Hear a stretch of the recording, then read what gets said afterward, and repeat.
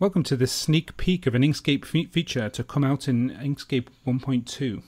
It's the padding and margin control for flowed text.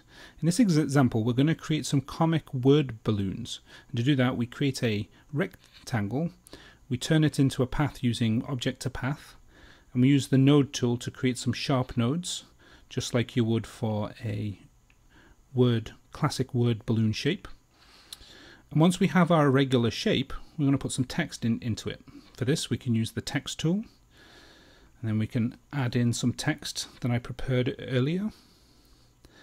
And then once you have some text, you can click the text and the irregular shape and use text flow into frame. Now you'll notice that this text meets the edge of the irregular shape in a very ugly way.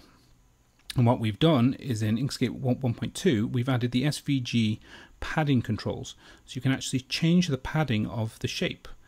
This is great because it actually keeps track and no matter what you do to the original shape, it will flow in with that amount of pad padding. As well as having a uh, flow in shape, you can actually have a, an exclusion shape as well. So if you have overlapping word balloons, you simply select the text, select the exclusion shapes, and use text set subtraction frames. And now we have a shape which is extracted.